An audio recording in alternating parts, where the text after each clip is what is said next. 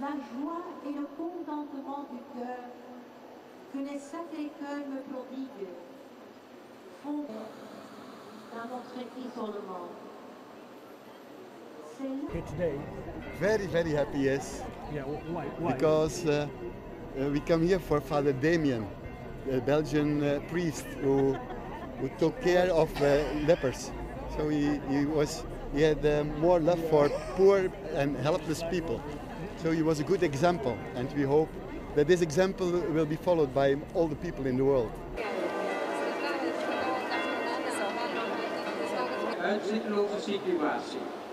Eh, tenía una, una vocación fuera de serie, era persona rica, y era arquitecto muy inteligente y Dios le, lo eligió, lo, lo tocó y lo dejó todo para vivir la pobreza y vivir el Señor por completo.